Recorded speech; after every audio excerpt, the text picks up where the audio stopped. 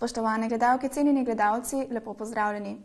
Nedavna odločitev pristojnih državnih služb, da razširi območje Nature 2000 tudi na področje občine Litije po reki Savi, vse do Divnice pa do samega mesta Litija, je sprožila ostro nasprotovanje občinske uprave, njenih organov in lokalne politike. Širitev zaradi zaščite drstišč ribje vrste Sulca bi pomenila, da se projekt izgradnje hidroelektraren na srednjem delu Save ne bi izvedel. S tem pa bi Litija izgubila razvojne možnosti in ostala še naprej poplavno nezaščitena. Ja, gledajte, mi smo v zaključni fazi eh, eh, priprave eh, eh, in pa odpošiljanja eh, naših stališč, ker smo dejansko eh, si začrtali eh, cilj, da glede na res strokovno razpravo, ki je bila v tej temi, odgovornim posredujemo ne samo formalne sklepe, ampak tudi uh, ustrezno prečiščeno besedilo uh, celotne razprave z, breko, tudi odprtimi vprašanji, ki so bili naslovljeni. Tako da želimo, da bodo pristojni, breko, temeljito seznanjeni z, se pravi, problematiko, ki bi nastala, uh, če uh, bi predlog nature uspel, jaz upam, da ne bo. Uh, jaz si le želim, da pristojne inštitucije res še enkrat temeljito preverijo svojo odločitev, predvsem pa, da vlada na koncu odloči, ne? ali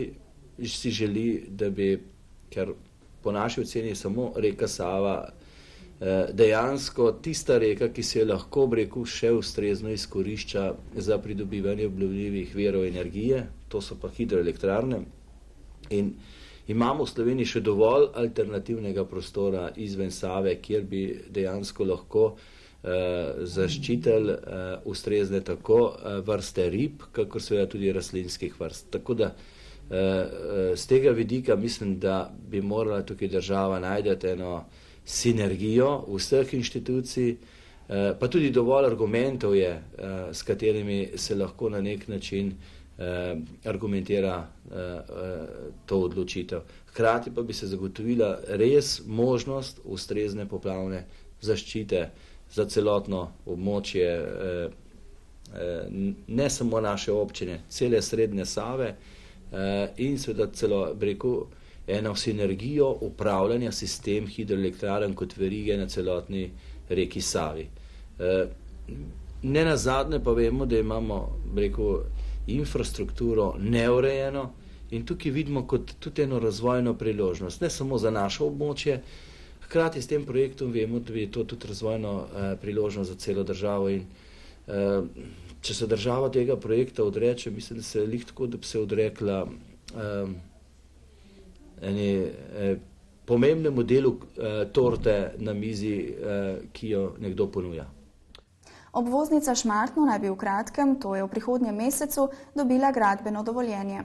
Pravzaprav je bilo to predvideno že nekajkrat, pa se je vedno znova zapletlo, predvsem pri zagotavljanju potrebnih zemlišč.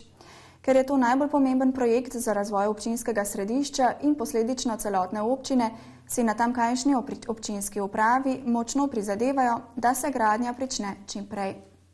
Na obvoznici Šmarno prileti že kar nekaj časa vodimo projekt pridobivanja projektne dokumentacije. Trenutno smo v fazi pridobivanja gradbenega dovoljenja. V prejšnjem tednu je bila izvedena na upravni noti tudi javna obravnava in pričakujem, da bomo v roku sledečega meseca tudi pridobili gradbeno dovoljenje. Upravna enota vodi postopke razlastitev uh, in do sedaj je bilo pridobljenih že več kot 96% vseh zemljišč. Za uh, dva oziroma nekaj več solastnikov se vodi še postopek razlastitve, ostale nepremičnine pa smo v glavnem že vse pridobili. Tudi upravna enota je na zadnje izdala odločbo o, o odkupu uh, nepremičnine, sključno z njenim preostankom, tako da bomo uh, te zadeve odkupili nekje do konca naslednjega leta. Uh, upravna enota vodi postopek zdaje gradbenega dovoljenja samo za tiste nepremičnine, za katere je občina že pridobila pravico graditi in te nikakor ne ogrožajo, uh, rekla, tiste nepremičnine, ki jih občina še ni pridobila, ne ogrožajo samega projekta uh, kot celote. Sodelovanje z direkcijo in njihovimi inženirji kot DRI-jem teče zelo uh, dobro, uh, tako da sodelujemo skupaj na javnih obravnavah v vseh tistih problematičnih trenutkih, ko iščemo skupne rešitve, tako da sodelovanje je izredno pozitivno. Trenutna gospodarska kriza nam je po eni strani kar gre naproti v pozitivnem smislu, namreč projekt poskušamo uvrstiti oziroma direkcija ga poskuša uvrstiti en, kot enega izmed projektov skozi program OPEROPI, ki morajo biti zgrajeni do leta 2015 in če bo temu tako in seveda gradbeno dovoljenje pravočasno pridobljeno, bo bila lahko gradnja v drugem letu in bo projekt pravzaprav dejansko stekal še prej, kot smo predvidevali. V torek je bil dan slovenskih splošnih knjižnic. Nanj so se spomnili tudi v Litijski knjižnici in pripravili zanimiv dogodek. Takšen dan pomeni, da si slovenske splošne knjižnice uh, izberejo nekšno, nekakšno manifestacijo, da opozorijo na svojo prisotnost v slovenskem javnem kulturnem prostoru, opozorijo na svojo pomembnost, čeprav nekako tiho obstajamo tu v vsakem lokalnem okolju. Letošnja uh, osrednja prireditev, srečanje uh, knjižničarjev, splošnih knjižnic je bila v Kranju, kjer so se pogovarjali o Knjižničarju v akciji. To je bil namreč slogan letošnjega splošnega dneva slovenskih knjižnic. Knjižničar v akciji pa najbrž pomeni, nime bilo namreč tam, da je knjižničar vse splošno prisoten, da, da si izbiramo zelo inovativne pristope, da nagovarjamo bravce, da smo skratka nenehno v akciji. Ne želim pa reči, da smo v akciji v smislu kakšnih hudih popustov oziroma diskontov.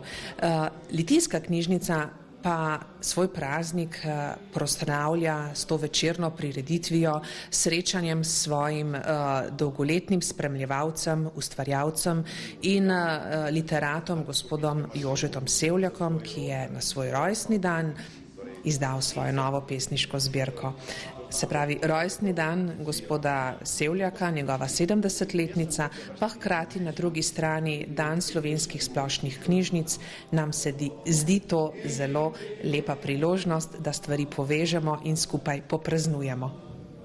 Jože Sevljak je bil dolga leta direktor Litijske knjižnice in se tudi zato v vanjo vedno rad vrača. Zato ni bilo na ključje, da si jo je zbral za prizorišče predstavitve nove pesniške zbirke, kot tudi ne, da jo je izdal ravno na svoj okrogli jubilej, 70-letnico.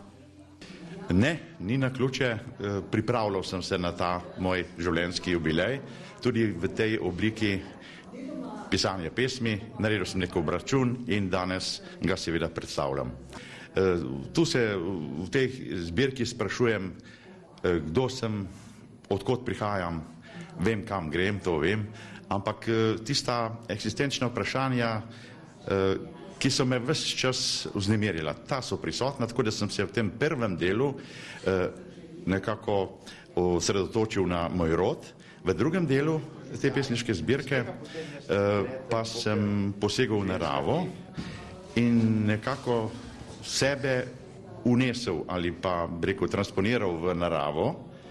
Na ta način sem sem nekako dobil občutek enosti, zlitja s to naravo uh, in je to obratni proces kot tist, ko, ko se iz narave pravzaprav pripisuješ določene lastnosti v svojo dušo.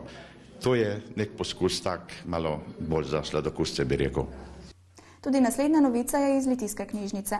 Prihodnji teden bo v Šmartnem pri Litiji prireditev, na kateri bodo počastili spomin na 140-letnico čitalništva v tem kraju. Kaj vse se bo dogajalo, nam je povedala direktorica.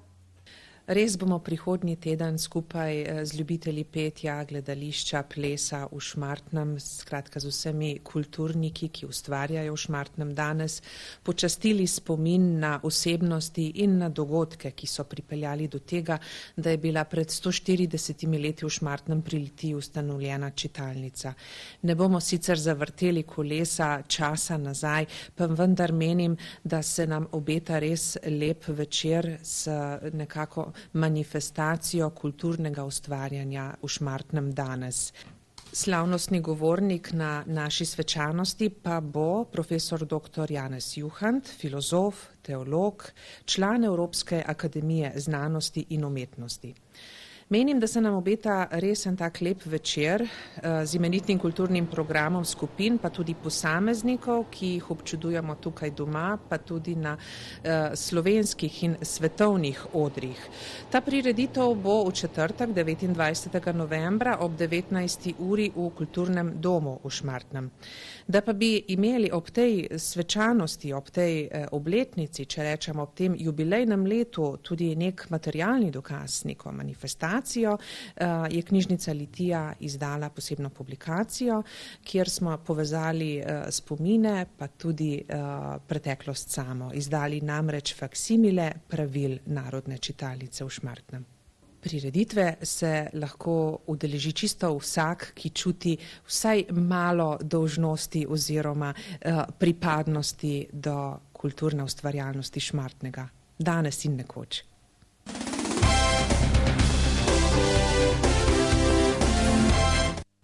Okroglo obletnico 30 let delovanja letos praznuje tudi Litijski klub malega nogometa. Na prehojeno pot polno vrhunskih rezultatov in doseženih visokih uvrstitev se bodo spomnili na slavnostni prireditvi, ki bo jutri v Litijski športni dvorani. 30 let je res kar dolga doba, ampak eh, teh 30 let je kar hitro minilo. Vsekakor so za to potrebni pravi ljudje, ki so lepilo za delovanje takšnega kluba in ta klub, ki se je v bistvu začel na Vačah kot športno društvo Vače, je te ljudi nedvomno imel. Eden od teh je bil Tone Vrhovec, pa njegov brat Andrej, ona dva sta dolga leta držala vso to ekipo skupaj, potem se je tukaj pridružil še Stane Kokal uh, in pa seveda potem tudi še nekateri drugi. Uh, predvsem je pa to pomembno, da je širši krok ljudi ostal skupaj vseh 30 let in držal delovanje kluba na visokem nivoju. Ja, to je predvsem zaradi tega, ker so tako igravci kot trenerji ostajali v klubu dlje časa, ne samo leto ali dve, ampak že v tistem prvem obdobju so bili igravci prisotni tudi po deset let in več. In ravno to okostje in pa dolgotrajno delo potem po nekem času obrodi sadove. Seveda s tem zadnjim rezultatom, predvsem z letošnjimi uspehi v tako imenovanem UEFA Futsal Cupu smo to dokazali. Postavljamo se ob bok tem največjim evropskim ekipam, Uradno smo osvojili šesto mesto letos v Evropi, kar nedvomno je velik uspeh. In ne samo to, mi lahko z igro konkuriramo tem ekipam. Mogoče še ena zanimivost. Ne?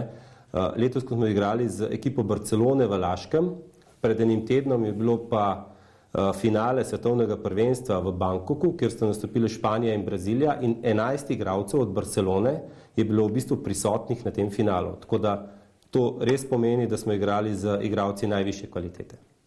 Zdaj, minuli rezultati so vsekakor tudi obveza za naprej in mi se tega zavedamo, hkrati so pa, je pa trenutno stanje in vzdušje v klubu takšno, da smo pripravljeni delati tudi naprej in seveda smo se odločili, da sku, bomo skušali dvigniti nivo kluba še na višji nivo.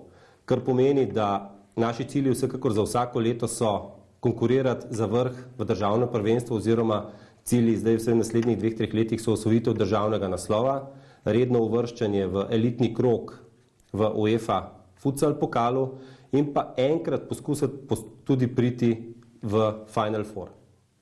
Ja, v primerjavi z drugimi klubi je proračun, ki ga ima Litija, vsaj 5 do 20 krat nižji. Ne? In kljub temu dosegamo lepe uspehe, kar nedvomno pomeni, da se v klubu dobro dela, vsekakor je pa za to potreben tudi dober material. Uh, mi pobiramo igralce praktično po celi Sloveniji, hkrati jih pa skušamo vzgajati tudi v domačem klubu. Prireditev se bo pričela ob 20. uri, na njo pa so povabljeni vsi, ki so bili v teh 30 letih kakorkoli povezani s klubom, njihovi simpatizeri in ostali. Po uradnem slavnostnem delu bo sledila še zabava.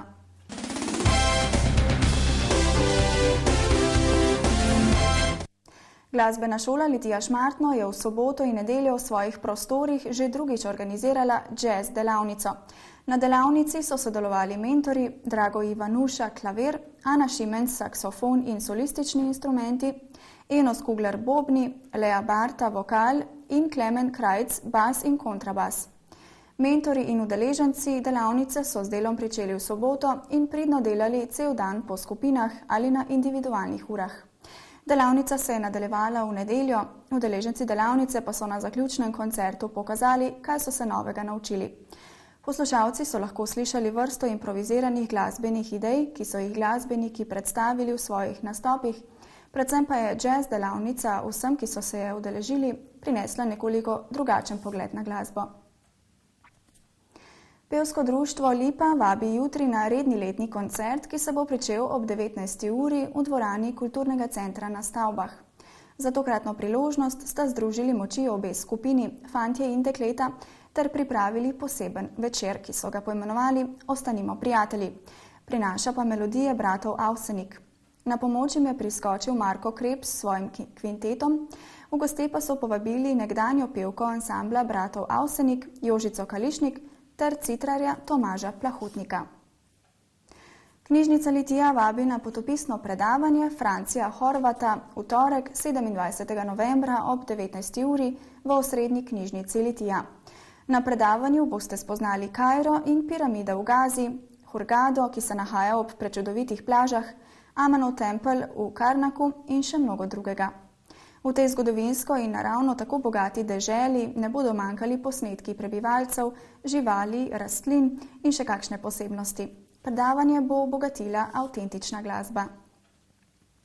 Javni zavod za kulturo Litija vabi na otroško matinejo z naslovom Soseda in pol v izvedbi gledališča Kukuc. Predstava bo v soboto, 1. decembra ob 10. uri v kulturnem centru Litija. Za vse tiste gledalce, ki iz kakršnega koli razloga zamudite ogled petkove informativne oddaje dogodki tedna, na našem programu pa obvestilo, da si lahko posnetke ogledate na spletni strani občine Litija in občine Šmartno pri Litiji. Toliko za nocoj. Lep večer in lahko noč.